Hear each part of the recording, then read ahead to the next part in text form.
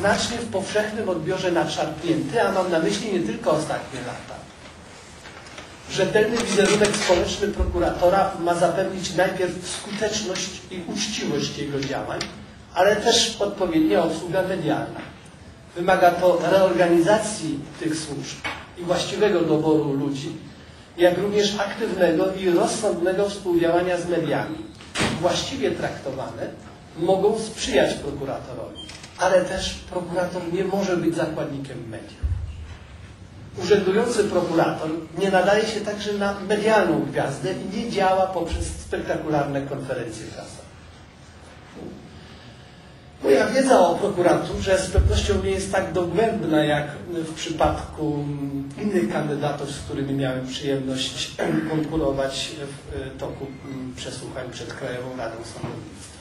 Osobiście nigdy nie prowadziłem też żadnego śledztwa, chociaż wiele z nich kontrolowałem, a nawet stosowałem podobne instrumenty jako rzecznik dyscyplinarny wieloletni. Mam jednak przekonanie, że obecnie nie o te umiejętności idzie, co więcej, doświadczenia te wydają mi się do pewnego stopnia balastem zbędnym. Inne bowiem umiejętności, inna wiedza i inne predyspozycje będą potrzebne, ponieważ prokuratora nie stała się organem niewydolnym, skoro zasadnicza praca tej instytucji jest nadal wykonywana, a przeważająca część kadry prokuratorskiej zachowała też wartości etyczne, powinnością nowego kierownictwa, wolnego od jakichkolwiek zobowiązań i zachowującego odmienną perspektywę, będzie wartości te wyzwolić, by prokuratorzy służyli wyłącznie sprawiedliwości. I refleksja osobista na koniec. Proszę Państwa, nie jest łatwo po ponad 20 latach pełnienia urzędu sędziowskiego podejmować starania o uzyskanie innego stanowiska. Wszelako zgromadziwszy obecnie znaczne doświadczenie zawodowe i życiowe, jestem w stanie, jak sądzę, podejmować się zadań wymagających innego rodzaju poświęcenia i zaangażowania. Takim bez wątpienia jest funkcja prokuratora generalnego. Zdarzają się chwile, w, którym sędzia, w których sędzia, prawnik i obywatel powinien odważyć się podjąć nowe wyzwania. I to jest właśnie ta ducha patosu, za którą chciałbym Państwa przeprosić. Dziękuję bardzo.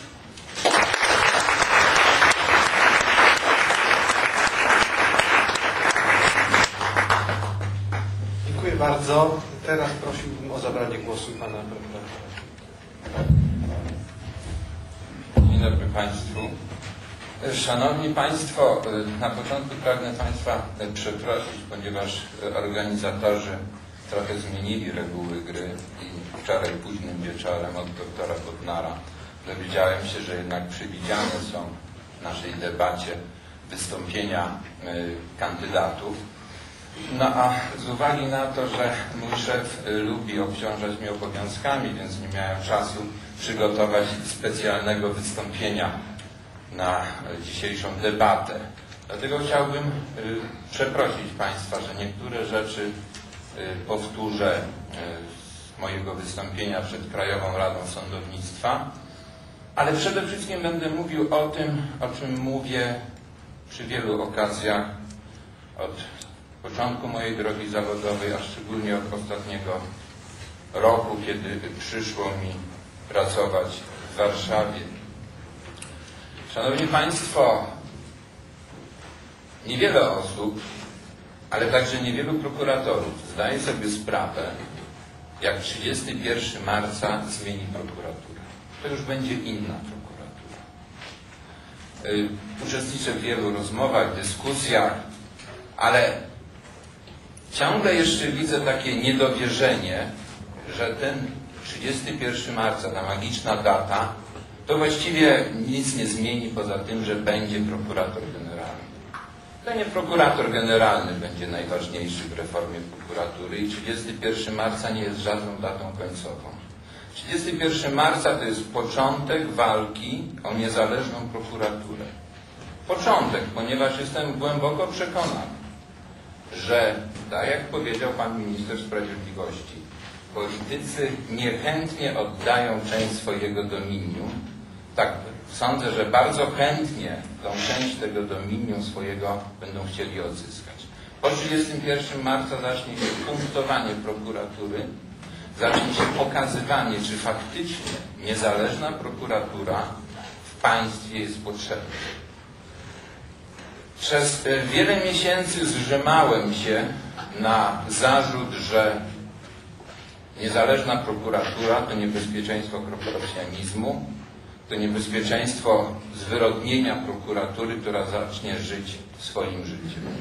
I proszę Państwa, tak jak przez wiele miesięcy y, głęboko protestowałem przeciwko temu, tak teraz uważam, że jedną z najważniejszych rzeczy, jaką, przed którą stanie prokurator generalny, przed którą staną prokuratorzy, to jest właśnie niedopuszczenie do sytuacji, żeby prokuratura zajęła się samą sobą. Prokuratura musi być organem państwa, organem, który będzie służył temu państwu, a przede wszystkim obywatelom. Jaka jest podstawowa trudność, którą widzę w nowej prokuraturze? Otóż pogodzenie sprawności działania całej instytucji z niezależnością prokuratora.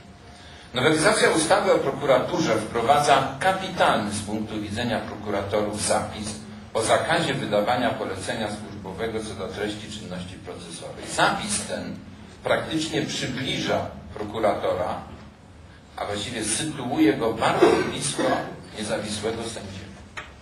Ponieważ nie będzie można wydać polecenia co do treści czynności procesowej. To nie jest tylko polecenie co do sposobu zakończenia. To jest polecenie co do wydania postanowienia o przedstawieniu zarzutów, wystąpienia z wnioskiem, zastosowanie środka zapobiegawczego. To jest cała gama tych niezwykle istotnych czynności procesowych, które prokurator podejmuje w toku śledztwa. A jednocześnie rodziła się we mnie przez te kilka miesięcy obawa, żeby tarcza niezależności, która ma chronić uczciwość podejmowania decyzji przez prokuratora, nie stała się jednocześnie tarczą dla braku wiedzy, nieuczciwości, czy też niestety zwykłego, normalnego ludzkiego lenistwa. Jak to pogodzić?